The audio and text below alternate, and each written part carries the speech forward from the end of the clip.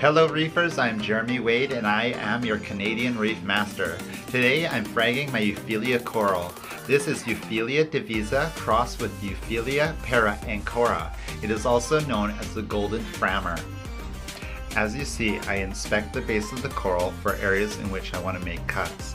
I do not want to make cuts on live tissue, only on the dead skeleton base. I use a Dremel tool with a diamond blade to make my frags. This particular Euphyllia has been growing quite rapidly in my tank.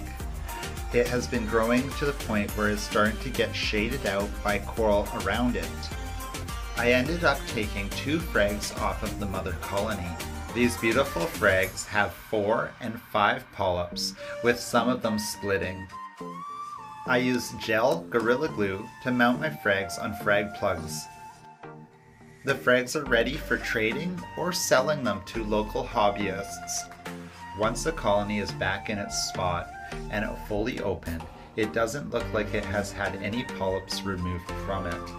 And of course, the frags are looking absolutely fabulous. Here's the mother colony the next day, and in no time it will be ready to frag once again. I hope you enjoyed watching me frag my Euphyllia coral. Have a great week, enjoy your reef, and don't forget to like, comment, and subscribe.